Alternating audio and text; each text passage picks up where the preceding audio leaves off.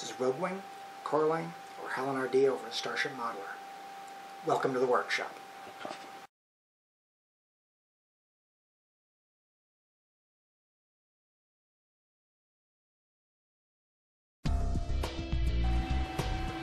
Okay, with the Starfury build now complete, it's time to decide what to do next. I already have that in mind. It is now about 8.20 on the 16th of March. What I'm going to be working on is the old Toy Biz Storm Kit, only I'm not going to build her out of the box. The uh, box art gives you a rough idea of one of the big problems I have with this kit, and I'm going to deal with it in a little different way. As you can see, compared to the rest of her leg, the feet on this thing are huge. So I'm going to do something I've done or tried to do a couple of times in the past. So I'm going to take the feet and turn them into paws. Basically, I'm going to take Storm here with a little seam filling and a little surgery. I'm going to turn her into a cat girl. Fortunately, the head is a separate section. Torso is fairly well portioned, if a little over endowed, but we'll worry about that down the road. What I'll probably be doing as you can see on the box art, she's got knives in her hands. What I'll probably do is take a blade this direction out of sheet styrene and basically turn the knife into a sword hilt. Maybe a double bladed sword, who knows. I'll play that part by ear when I get that far. The other big thing I'm going to be doing here is Instead of using the kit hair, which is basically two pieces and is kind of an amorphous blob, so I'll be sculpting ears and new hair for her out of Aves, as well as using the Aves to fill the seams on her boots. And there are a couple of other nasty seams I remember, especially over here where the uh, cloak would hook into her shoulders. But that's an idea where we're going with the next build. Stay tuned.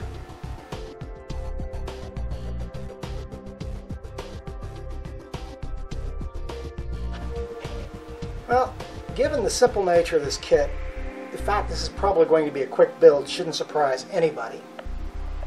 But, here's a quick progress report. I've got the major sub-assemblies for Storm herself built done a little bit of seam work. Not too worried about the seam on the top of her head because that's going to be covered with Aves anyway. I'm debating, instead of doing the sword blades like I was thinking, I'm debating just keeping the knife blades. There is a nasty seam I am going to have to work though. It's right here. That's going to take a bit of Aves to fix. And then that gap will be gone. I've already started modifying her legs and feet. I've cut the heels off her boots.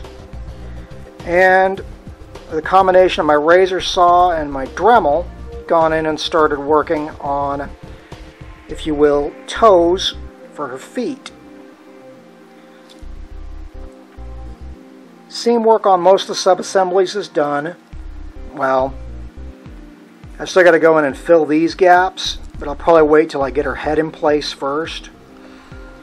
I'm debating whether I'll put down a collar or something over that. But all in all, it's coming along nicely. At this rate, I'll probably only do one video for this build.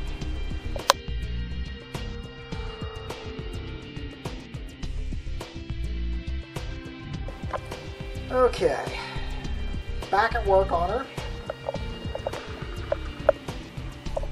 Got some, some of the major construction done. I haven't put her arm, the, her forearms in yet, mostly because I'm still debating what I'm going to do about the blades. So I figure at this point I'll leave them off to make it easier to work with. Her legs and head, on the other hand, are in place now. And as you can see, I'm going to have some nasty seamage to fill here along her boot lines. The belt line I'm not that worried about because she's got a belt there. Her neck, on the other hand, is just as bad as her legs, if not worse, because it's her neck. Now, for Storm herself, that could arguably be the suit collar because her suit comes all the way up to her neck. But I'm still debating how I want to do the top of her suit, so I am going to need to go ahead and fill that seam. That's where we're sitting at the moment.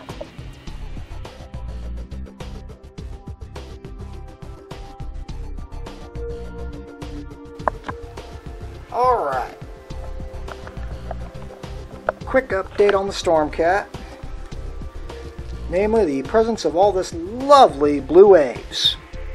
It's especially heavy on her heels because I had to fill in the wrinkle where her boots were, and of course the holes left when I cut off her heels.